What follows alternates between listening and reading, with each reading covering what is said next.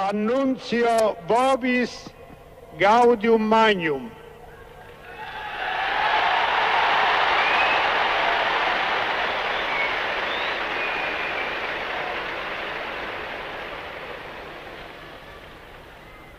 Abemus Papam.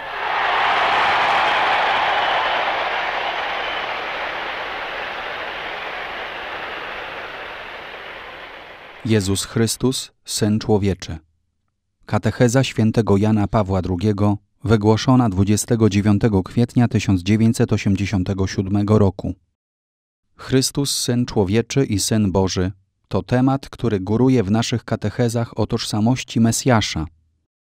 Prawda o człowieczeństwie i bóstwie Chrystusa jest prawdą podstawową objawienia chrześcijańskiego i wiary którą na dalszym etapie naszych rozważań postaramy się jeszcze pełniej ująć i przedstawić. Natomiast w katechezie obecnej wypada uzupełnić analizę nazw mesjańskich, które w pewnym stopniu występują już w Starym Testamencie, a także zastanowić się nad tym, w jakim znaczeniu Jezus odnosi je do swojej osoby. Jest bowiem rzeczą znamienną, że Jezus nazywał siebie najczęściej synem człowieczym. Nigdy sam siebie nie nazwał synem Bożym czynili to inni. Natomiast tylko on sam nazywa się synem człowieczym, a przez innych nie bywa tak nazywany, wyjąwszy słowa Szczepana przed ukamienowaniem oraz dwa miejsca w Apokalipsie. Nazwa Syn Człowieczy pochodzi ze Starego Testamentu, z księgi proroka Daniela. Oto zapis nocnej wizji proroka. Patrzałem w nocnych widzeniach, a oto na obłokach nieba przebywa jakby Syn Człowieczy podchodzi do przedwiecznego i wprowadzają go przed niego. Powierzono mu panowanie, chwałę i władzę królewską, a służyły mu wszystkie narody, ludy i języki. Panowanie jego jest wiecznym panowaniem, które nie przeminie, a jego królestwo nie ulegnie zagładzie. Gdy prorok prosi o wyjaśnienie wizji, otrzymuje następującą odpowiedź: Królestwo otrzymają święci Najwyższego i będą posiadać królestwo na zawsze i na wieki a panowanie i władzę i wielkość królestw pod całym niebem otrzyma lud święty Najwyższego. Tak więc słowa księgi Daniela odnoszą się do osoby i do ludu.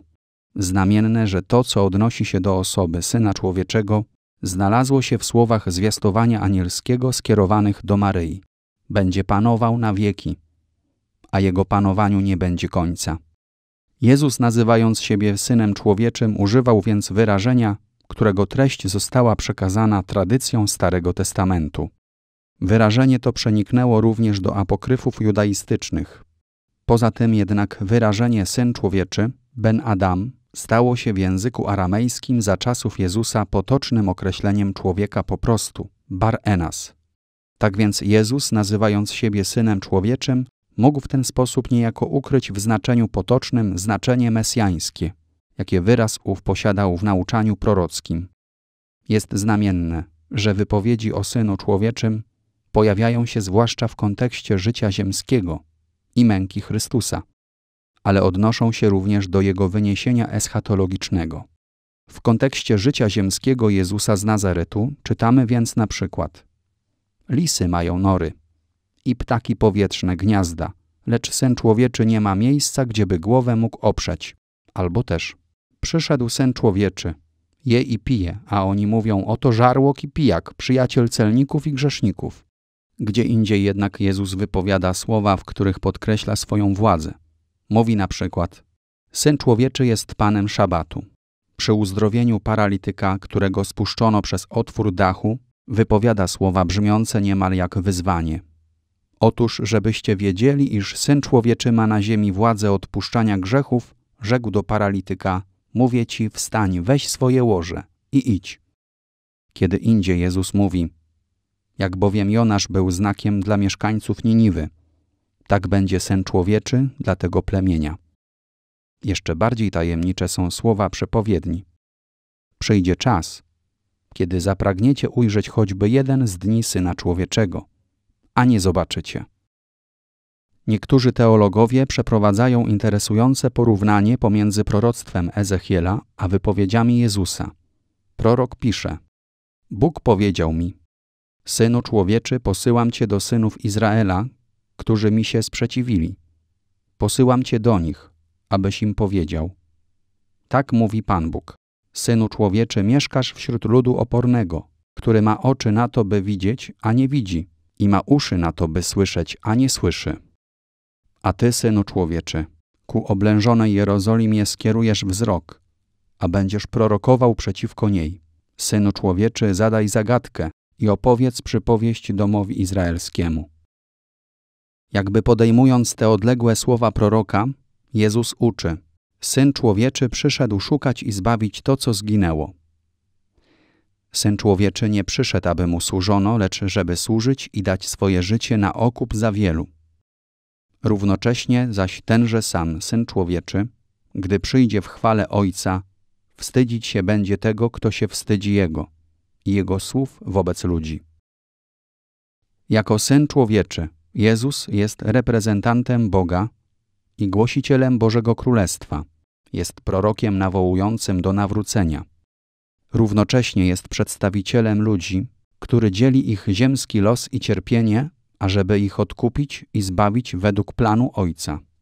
Sam też mówi w rozmowie z Nikodemem: Jak Mojżesz wywyższył węża na pustyni, tak potrzeba, by wywyższono syna człowieczego, aby każdy, kto w niego wierzy, miał życie wieczne. Jest to wyraźna zapowiedź męki, którą Jezus następnie powtarza. Zaczął ich pouczać, że syn człowieczy musi wiele cierpieć, że będzie odrzucony przez starszych, arcykapłanów i uczonych w piśmie, że będzie zabity, ale po trzech dniach zmartwychwstanie. W Ewangelii Markowej są trzy takie zapowiedzi, a w każdej Jezus mówi o sobie jako o synu człowieczym. Tak samo też mówi o sobie Jezus przed trybunałem Kajfasza, gdy na pytanie, czy ty jesteś Mesjasz, syn błogosławionego, odpowiada: Ja jestem. Ujrzycie syna człowieczego, siedzącego po prawicy wszechmocnego i nadchodzącego z obłokami niebieskimi. W tych słowach brzmią echa słów proroka Daniela o synu człowieczym, który na obłokach nieba przybywa, i psalmu 110, w którym Pan zasiada po prawicy Boga. Jezus mówi wielokrotnie o wywyższeniu syna człowieczego, ale nie ukrywa przed swymi słuchaczami, że z wywyższenia tym łączy się poniżenie krzyża. Na obiekcje i niedowierzanie ludzi i swoich uczniów, którzy pojmując cały tragizm jego aluzji, pytają: Jakżeż ty możesz mówić, że potrzeba wywyższyć syna człowieczego? Któż to jest ten syn człowieczy? Jezus odpowiada: Gdy wywyższycie syna człowieczego, wtedy poznacie, że ja jestem i że ja nic od siebie nie czynię, ale że to mówię, czego mnie ojciec nauczył. Tak więc stwierdza, że wywyższenie przez krzyż stanie się równocześnie uwielbieniem. Wkrótce zaś dodaje: Nadeszła godzina, aby został uwielbiony syn człowieczy. Znamienne, że już po wyjściu Judasza z wieczernika Jezus mówi: Syn człowieczy został teraz otoczony chwałą, a w nim Bóg został chwałą otoczony. Wszystko to stanowi treść życia, męki, śmierci i chwały Jezusa, która jakby w dalekim zarysie znajdowała się u proroka Daniela. Wszakże mówi on o panowaniu Syna Człowieczego jako wiecznym i nieprzemijającym. Jezus bez wahania do tego nawiązuje, gdy w zapowiedzi końca świata głosi: Wówczas ujrzą Syna Człowieczego, przychodzącego w obłokach z wielką mocą i chwałą. Ta eschatologiczna perspektywa ma towarzyszyć ewangelizacji, która wypełnia ziemski czas Kościoła. Jezus mówi: Nie zdążycie obejść miast Izraela, nim przyjdzie syn człowieczy. Potem zaś pyta jakby samego siebie: Czy jednak syn człowieczy znajdzie wiarę na ziemi, gdy przyjdzie? Tak więc, wypełniając w swym życiu pod nazwą syna człowieczego cały plan męki, śmierci i zmartwychwstania zarysowany w Starym Testamencie, Jezus równocześnie przez tę samą nazwę określa swoje miejsce wśród ludzi jako prawdziwy człowiek, jako syn niewiasty, Maryi z Nazaretu.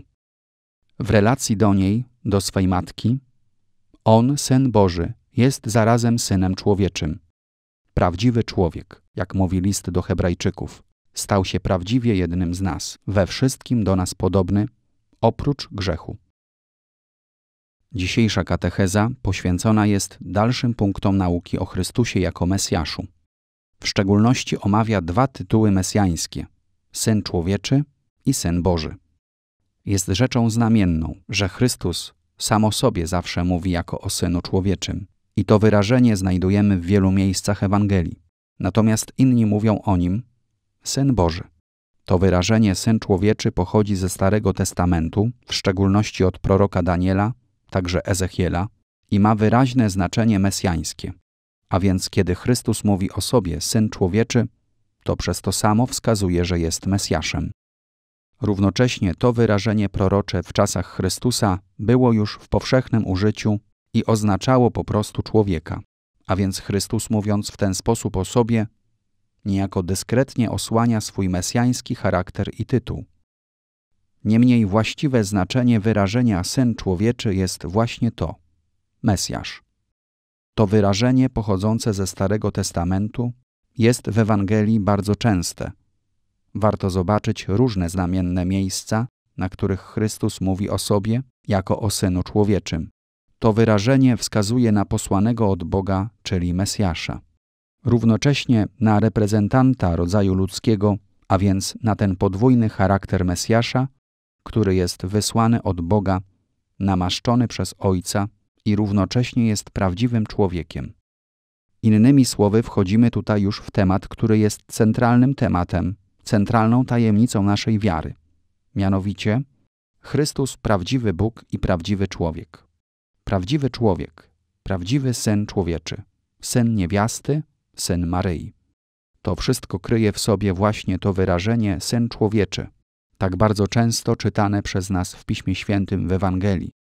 Warto do tego wyrażenia odwołać się zwłaszcza dzisiaj, gdy znajdujemy się u progu miesiąca maja, miesiąca Matki Bożej, czyli właśnie Matki Syna Człowieczego, tej, która dała mu ludzką naturę, człowieczeństwo, za której sprawą on, Syn Boży, stał się Synem Człowieczym.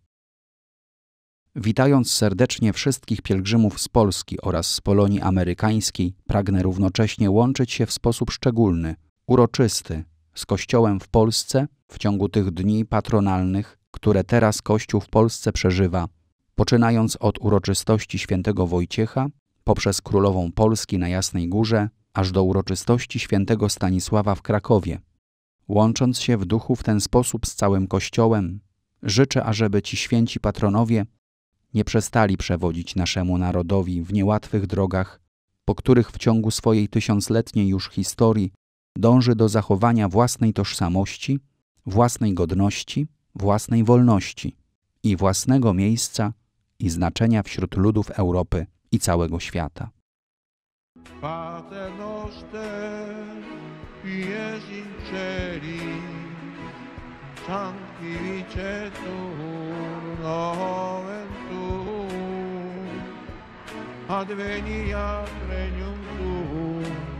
Fiat voluntas tua, sicur in cielo in terra.